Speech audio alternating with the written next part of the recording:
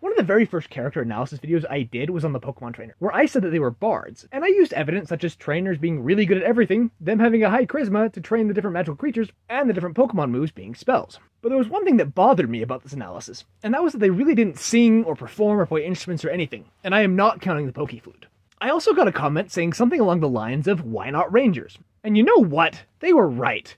Pokemon trainers would be Beastmaster Rangers.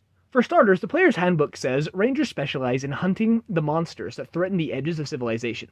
Humanoid rangers, rampaging beasts and monstrosities, terrible giants, and deadly dragons. And for this, I would say that the evil teams like Team Rocket would be the human raiders, and all the monsters, dragons, and giants include, well, this. The book continues to say fierce independence makes rangers well suited to adventuring, since they are accustomed to life far from the comforts of a dry bed and hot bath.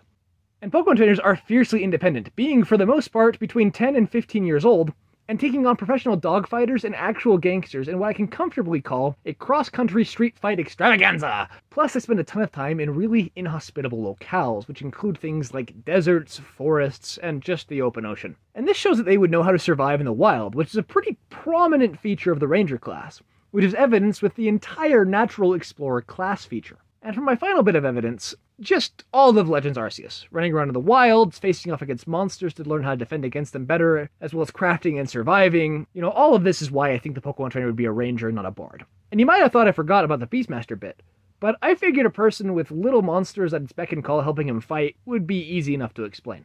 But hey, thanks for watching. Let me know in the comments who you'd like to see next, and tune next time to Out of Initiative.